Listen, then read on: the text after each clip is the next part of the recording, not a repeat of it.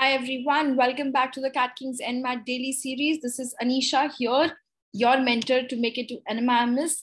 And I'm extremely happy today to announce this to all of you guys. I mean, you know, a lot of you guys have this question like, NMIMS is such a huge batch size. Should I join NMIMS? Should I not join? Do you think the batch is going to be a struggle when it comes to placements and a lot of other concerns which come in?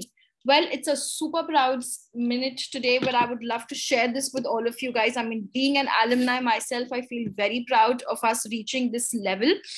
Today, we have got, like, this is out on NMIMS official Instagram channel as well, also, that in eight days, 100% placements has been achieved for the SBM NMIMS Mumbai MBA core and the MBA HR program you guys do not believe me, you can go and check out the NMIMS uh, official Instagram page as well also. So if you guys see, this is the official Instagram channel of NMIMS, okay?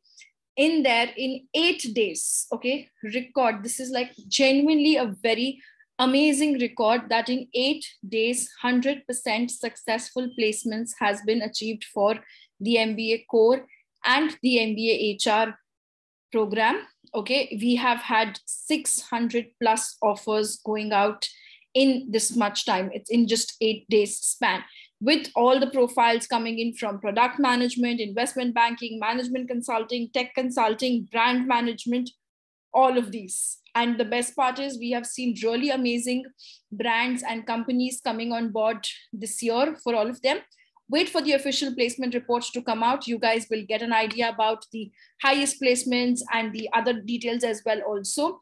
But for all of you guys who had second thoughts, 600 students batch size, should I go ahead and give my best shot at NMAT or not? Should I go ahead and start preparing for the interviews if I have got the chance to get an NMIMS call? Well, the answer is absolutely yes stop thinking so much. Let's get started. Let's get set. Go. And i feel so happy that out of these entire 600 at least a few bunch of them i had trained them for their final placements as well also. And today they got shining out there right? So get started with your preparation for all of you guys who are expecting an NMIMS call.